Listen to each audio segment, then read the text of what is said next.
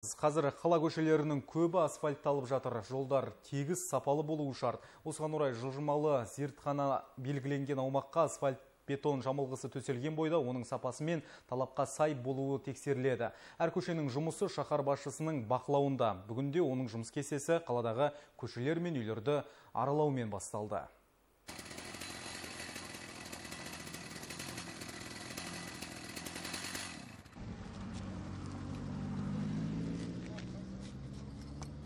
Қалыңдығы 15 сантиметрді құраған мына сынама Бөкенбай Батыр көшесінен алынды.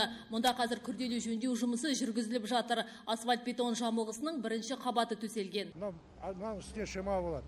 Мынау қазір нижнісі астыңғысына салдық 7 сантиметр. Енді үстіне 5 сантиметр шема салынады. Мына бәрі дайын болу керек. Тротуар бәрі дайын болып, сол тап таза болып шығып келеміз уже жоғарыны. Жамылғының екінші қабаты қиыршық тасты мастикалық асфальт көше бойындағы жұмыстардың 80 пайызы біткен соң ғана төселеді. Жолдың ұзындығы 4 километр. Қыркүйек айында толық аяқталып тапсырылады.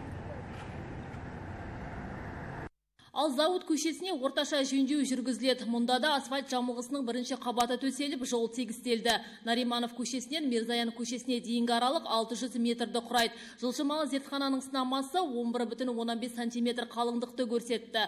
Стандартқа сай, ал сапасы лабораторияда тексеріледі. Жөндеу екі аптадан соң аяқталады. Көшеде мұндай жұмыс 15 жылдан бері жүргізілмеген. А так? Выравнивающий же. Ну мы выравнивали, здесь же не рельеф такой. Рамиль сохраняет, да? Ну, А, Вот смотрите, в любом случае, уже мы, жители, забыли, что здесь э, ямы были. Правильно? Жаловались сперва на ямы. Қала әкімі Асхат Шахаров термо жаңғырудан өткен көп қабатты үйлерді де барып көрді.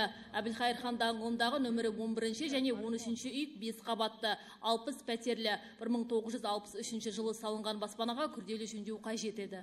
подвальном помещении с установкой АТП. Э, И также проведена замена отопительной системы горячего холодного водоснабжения и ремонт подъездов, заменой окон.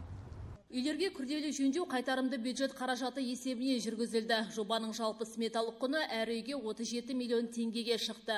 Бір бөлмелі пәтер иелері 2500, екі бөлмелі пәтер үшін ай сайын 3600 теңге төлейді. Тұрғындар қарызды 15 жылда қайтарып беруі тиіс. 3600 квадратура Вообще қанша үйім бар? Осы жиырма үй менде жиырма үй арғы бетте бергі бетте прохорова соның он алтысы өтті модернизация Мен ертең бұйыртса ана өзгерейін деп жатыр едім да ана бүкіл ана теста бойынша не бойынша әр домға әртүрлі бөлек бөлек иә оси болады. Осы үй болған кезде қалай сізге бөгеді ма не бөгеді О, самрух дейді. оси жақсы ғой.